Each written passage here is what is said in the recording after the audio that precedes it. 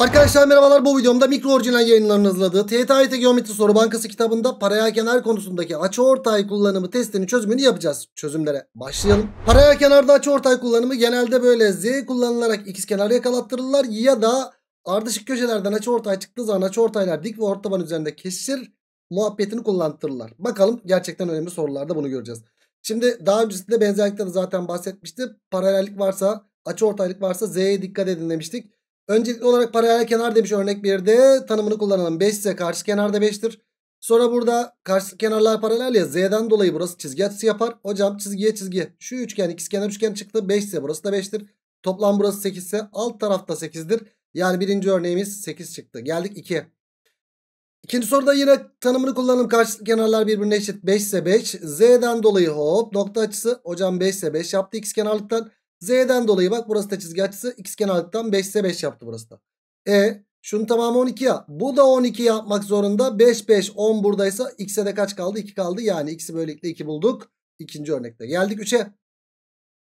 Açı ortaylık var. Z'ye dikkat. Çizgi açısı yaptı. E burası 25 ise burası da 25 yapacak. Buraya ne kaldı o zaman? 17 mi kaldı? Evet. Sonra bakıyoruz ki arkadaşlar.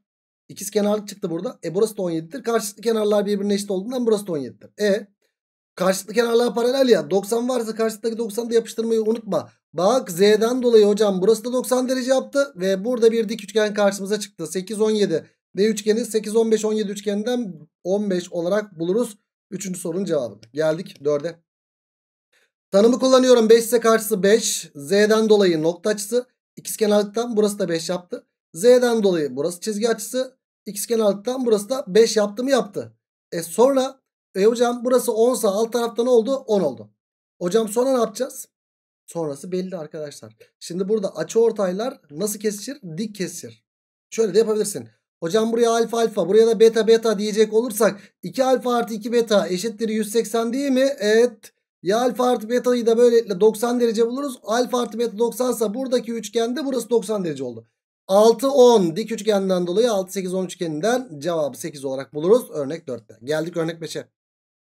Evet böyle açı ortaylık verilmiş. Z'den dolayı hocam burası çizgi açısı 6 ise burası 6 mı? 6. 6 ise bu arada burası da 6. Ve 11. Karşı tarafta 11. Verilen her bir bilgiyi kullanıyoruz. 6'sı buradaysa buraya 5 kaldı. A 3 5 3 4 5 üçgeninden 4 çıkar. Sonra Pisagor bağıntısından x'i buluruz. 6'nın karesi eşittir 4'ün karesi artı x'in karesinden 36'dan 16 çıkınca 20 eşittir x kare yapar.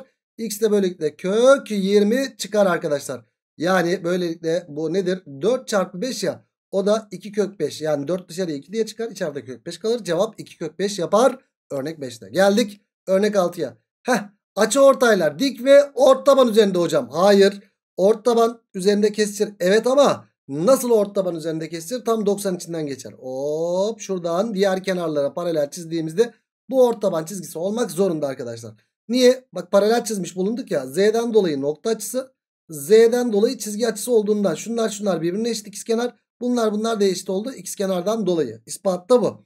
E hocam burası 5 burası 5. E, bir de 90'dan çizilen kenar orta eşit eşitken muhteşem üçlü. Biz ispat yöntemiyle gösterdik ama dik ve orta çizince eşit eşitken burası da eşit oluyor. Muhteşem üçlü de karşımıza çıkıyor. Sonra bizden x isteniyor. Hocam x burası. Aa biz burayı bulduk 8. Şurada da ayrı bir paralel kenar var. 8 ise x de kaç çıkar arkadaşlar? 8 çıkar. Böylelikle örnek 6'yı 8 bulduk. Ve bu testi de bitirdik. O zaman ne diyoruz? Bir sonraki videoda kesen doğrular testinde görüşmek dileğiyle. Kendinize iyi bakın. Hoşçakalın.